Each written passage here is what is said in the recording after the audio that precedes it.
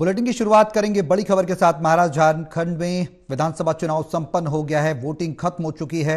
महाराष्ट्र में बता दें कि अट्ठावन दशमलव सात पाँच फ़ीसदी वोटिंग हुई। गढ़चिरौली में सबसे ज़्यादा मतदान, मुंबई सिटी में दर्ज की गई सबसे कम वोटिंग, झारखंड में दर्ज की गई सड़सठ दशमलव आठ एक फ़ीसदी वोटिंग।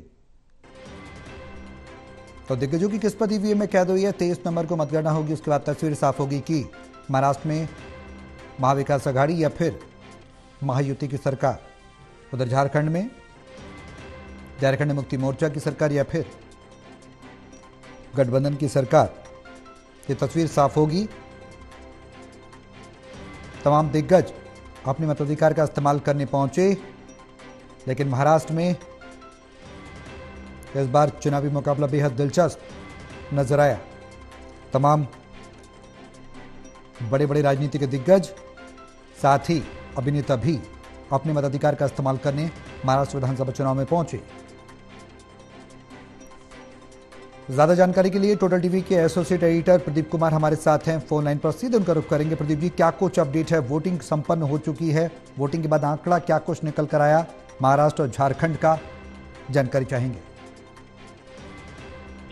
सौरभ, और दोनों चुनावी मुकाबलों की बात करें, यानी महाराष्ट्र और झारखंड के चुनावी मुकाबले की एक बड़ा ज़बरदस्त मुकाबला देखने को मिला है। आज वोटिंग का दिन था, और शुरुआत करते हैं महाराष्ट्र की दो सौ अठासी सीटों पर। आज जो वोटिंग हुई है, करीब अट्ठावन दशमलव चार पाँच फ़ीसदी मतदान हुआ है, और सबसे ज़्यादा वोटिंग गढ़चिरौली में उनसठ दशमलव छह तीन फ़ीसदी, और सबसे कम वोटिंग मुंबई सिटी में हुई है।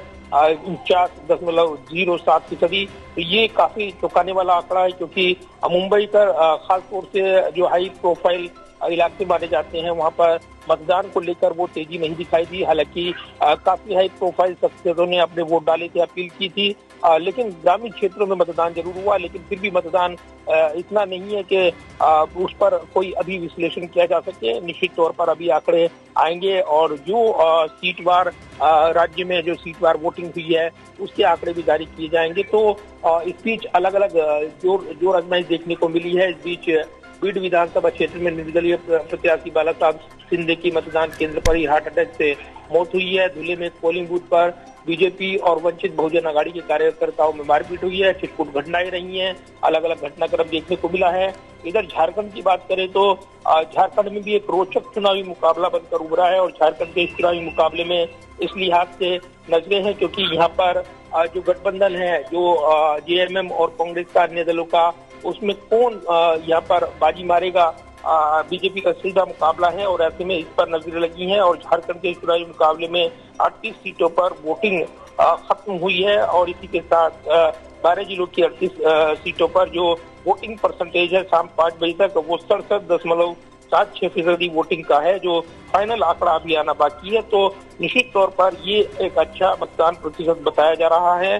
और इस लिहाज से क्योंकि कई जो राज्य की कई सीटें खासतौर से जिनमें समर्थकों के बीच आपस में भिड़क भी हुई है अलग अलग इलाकों में ये जानकारी मिली है। इसके अलावा भी चुनाव आयोग ने कई जानकारी को संज्ञान में लिया है।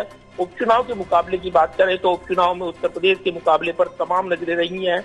नौ सीटों का ये मुकाबला और मीरापुर विधानसभा में खास तौर से सबसे ज़्यादा शिकायतें दर्ज की गई हैं।